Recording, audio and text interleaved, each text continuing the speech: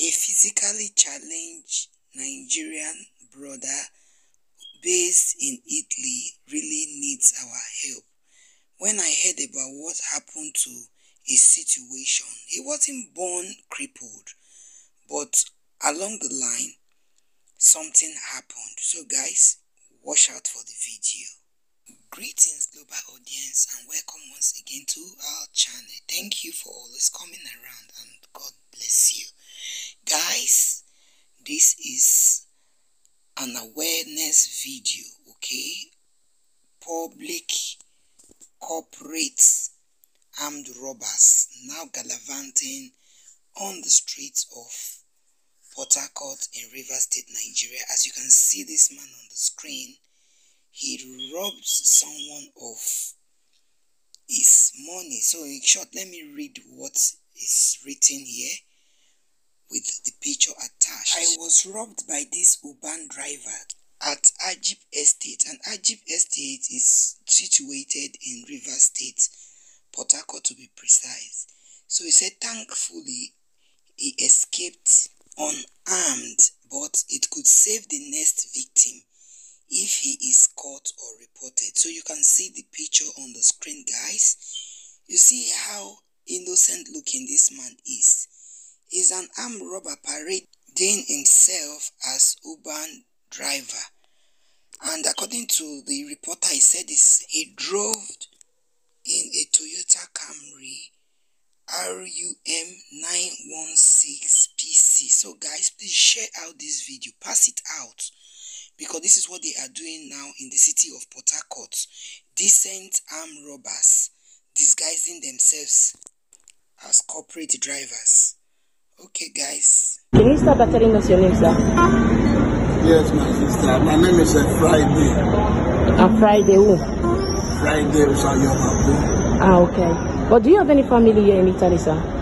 No. Ah, you are just alone? No wife, no kids, nobody? Oh, wow, that's sad. Well, can you also tell us your story? Because you look like a very vibrant man, and then you are Nigeria, Benin City to be precisely, and you always stay here every day, playing music, and I've always listened to your music. You're very good in singing, though. But can you tell us your story, like how come you are in a wheelchair like this, and how you came to Italy? Uh, my story is that when I was small, I lost my parents. I lost my parents. See, there's nobody to help. I was struggling on my own, doing this uh, shoemaking work. Then before I faced the Libya route, I struggling by myself, passed that way. I know that when I went to Europe, my story will not be at the same. There must be a big difference. I began to struggle, to struggle. God hear my prayer.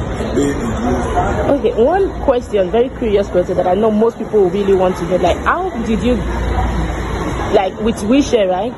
How did you pass Libya with wheelchair? Because people with leg, it's hard. Like Libya is a very dangerous place with people that are like are fully walking. Not take less of you that when is I in was in. Libya, that's I doing shoemaking work. Ah. I repair handset also. I sew cloth. I doing today work. That is as I was in Libya. We, met- we become friends with with Libyans. We become friends. So we give me handset three three to repair for. I repair it. I submit it to them. They bring shoe. I sew it for them. Very good. They come and collect their things. We become a, a very good to each other. I stayed many years in Libya before I crossed to Europe. Ah, see, okay. Another question is, did you go to Libya with your wheelchair and everything? Okay, yeah, but when I come, I did not come with a wheelchair. Ah, It is European life. oh wow, really? Ah, Lord, okay, you can walk sometimes with your leg. Okay, I can walk like this. Ah, with your hands. Can you show us if you don't mind, sir, please? Okay, like this. I'm with hand, with knees. Really?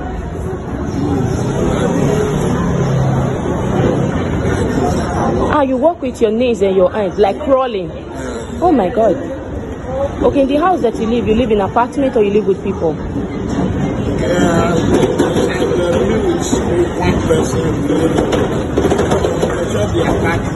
Yes, I understand. But if you want to do shopping, like anytime you want to do shopping, like do you have someone that help you with the shopping, or you go to the supermarket yourself? And if, I, if somebody like, if somebody like to go with me, we go together. If it is only me, I can take go together. I used to buy something to my market. If, if somebody can want to take me to, I can still go with him to supermarket to buy something. Ah, that's really that's really sad because I normally see you anytime I'm going to work, and I feel normally I just feel sad. But do you have anything to tell today at not uh, Parara How news? is my story like this?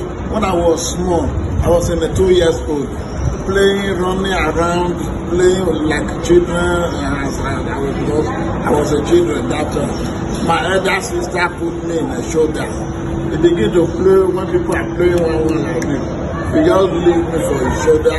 I don't want to fall like a place like this. Ah. I use my uh, waist to come and hit Yeah. When my mom meet, when my mother come from outside, they begin to ask me, how many, uh, why, why do I fall down from his shoulder? He said that she was playing. She's a girl. Uh, and she was the same in that time. Mm. She was the same. Uh, she put me shoulder as he's playing one one. He leave me on shoulder. So, Ah. Mamma mia. But what about your sisters and are they still alive? They're still in Nigeria. But you have contact with them, right? Ah. Okay, no problem. So guys, this uh, I've always seen him. He works in Arena in Verona, Italy. So he needs help. He needs our Nigeria help. Look, this is how he is. He doesn't work as he can. As you heard him before, he said he crawl with his nails and with his hands, which is very sad. So I've uh, decided to like help him, but I don't have much. I am just a student and I also work, so I don't have much. But I decided to at least support him like every month. But if there is any other Nigerians out there that want to support me, you can please share this video, write me, and I can send you guys uh, his number. I'll put the number on the link below. You guys can reach him and please help him, send him something. This is one of us, a Nigerian man. He's struggling, he's not lazy despite the situation.